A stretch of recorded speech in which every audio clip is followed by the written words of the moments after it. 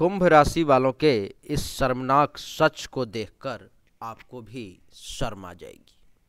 मगर इस अच्छाई को देखकर गर्व से सिर उठ जाएगा। अगर आप किसी कुंभ राशि के व्यक्ति को जानते हैं तो ये वीडियो आप ही के लिए है। आप इस वीडियो को ज़रूर देखें। मित्रों, अभी तक कुंभ से पहले, यानी कि मेष, वृष, मिथुन, कर्क, सिंह, कन्या, तुला, वृश्चिक, धनु और मकर तक जो भी वीडियो डाली गई है, उसमें आप लोगों के द्वारा रिव्यू दिया गया है, बताया गया है कमेंट में कि 100 परसेंट सच साबित हुआ है।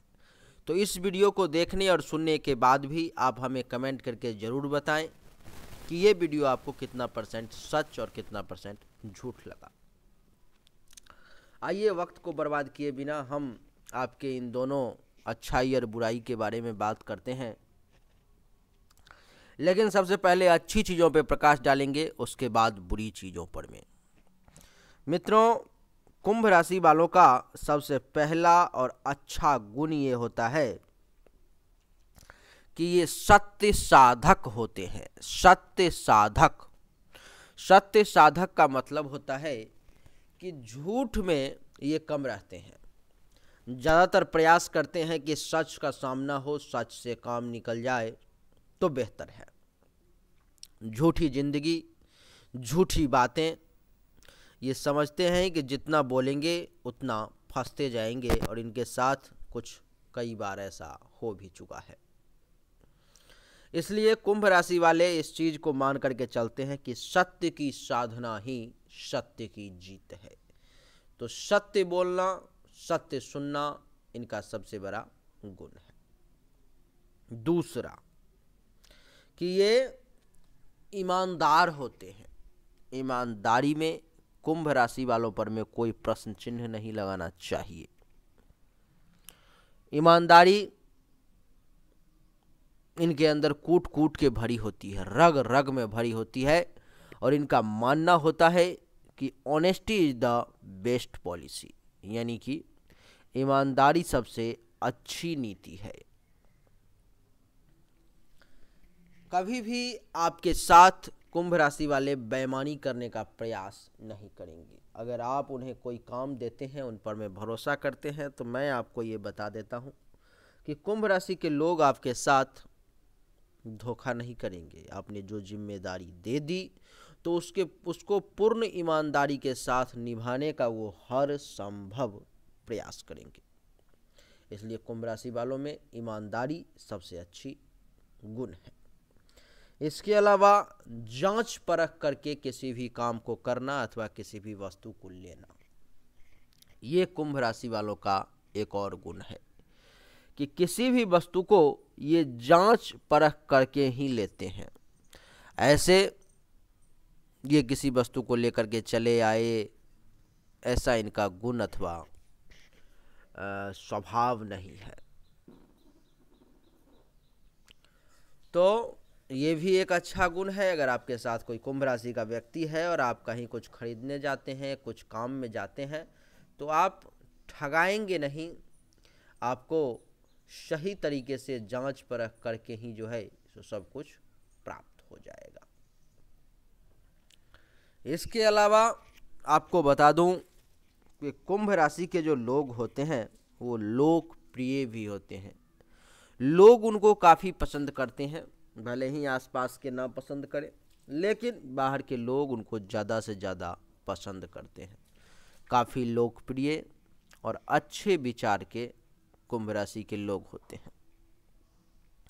इतना ही नहीं, लोकप्रिय के साथ साथ ये मिलनसार भी होते हैं। लोगों से मिलजुल कर रहना, उनके साथ, उनके जैसा सही तरीके से बातचीत करना ये इनको भली भांति आता है। और बड़े अच्छे तरीके से, सही तरीके से मिल करके ये सब के साथ रहना जानते हैं। इसके अलावा इनका दिमाग जो है, सो व्यापक दिमाग होता है। बहुत बड़ा, बहुत ज़्यादा ये सोच सकते हैं किसी चीज़ के बारे में। इनके पास गजब की अद्भुत क्षमता होती है। अद्भुत क्षमता। कहीं से कोई कमी वाली बात इसमें नहीं कही जा सकती। इसके अलावा, कुंभ राशि वालों का जो दिमाग होता है, वो काफ़ी रचनात्मक और क्रिएटिव होता है। क्रिएटिव अथवा रचनात्मक का मतलब है कि किसी भी चीज़ के बारे में क्रिएशन करना, रचना करना, इनको भली भांति आता है। कुछ ऐसी कविताएँ, कुछ कहानी, कुछ प्रॉब्लम सॉल्यूशन का, कुछ इस प्रकार का चीज़ें, ये बहुत अच्छे तरीके से उसको क्रिएट करना जानते हैं। और जिसके कारण से इनकी खोज जो है, सो हर जगह पर में होती है। तो ये वो गुण था जिसे सुनने के बाद आपको ऐसा लगा होगा कि कुंभ राशि का कोई ना कोई व्यक्ति मेरे सर्कल में होना चाहिए, मेरे फ्रेंड ग्रुप में होना चाहिए, मेरा दोस्त होना चाहिए, मेरा परिवार होना चाहिए, कोई ना कोई होना चाहिए। लेकिन अब वो मैं आपको दो तीन ऐसे अवगुण बताऊँगा जिसे सुन करके आपको काफ़ी ध्यान रखना होगा कुंभ राशि के बारे में। और अगर इन अवगुणों को आप त्याग करके चलते हैं तो आप एक अच्छा संबंध कुंभ राशि वालों के साथ बना सकते हैं। पहला कि कुंभ राशि के लोग परिवर्तनशील होते हैं। यानी कि अभी कुछ कुछ देर के बाद कुछ कुछ देर के बाद कुछ। परिवर्तित होते रहते हैं, आपको ऐसा लगेगा कि ये एक बात पर में नहीं रहते हैं। परिवर्तन इनका बहुत ज़्यादा होता रहता है, जिसके कारण से आपको थोड़ा सा अविश्वास भी इन पर में हो सकता है। इतना ही नहीं, कुंभ राशि के जो लोग होते हैं, वो संकोची भी होते हैं। संकोच, यानी कि लाज, शर्म, संकोच करना, ये इनका एक अवगुण होता है, जिसके कारण से कई बार ये पीछे रह जाते हैं ज़िंदगी में, क्योंकि कहा गया है कि one who hesitate is lost one who hesitate is lost यानी कि जिसने की शर्म उसके फूटे कर इसलिए कुंभ राशि वालों को चाहिए कि शर्म ना करे, संकोच ना करे तो किस्मत उनका दरवाज़ा खोल करके उनके स्वागत के लिए तैयार है। इसके अलावा कुंभ राशि के लोग सनकी मिजाज के होते हैं। रैंडम से ऐसा मूड बन जाता है इनका कि अब सब कुछ तहस नहस कर देंगे।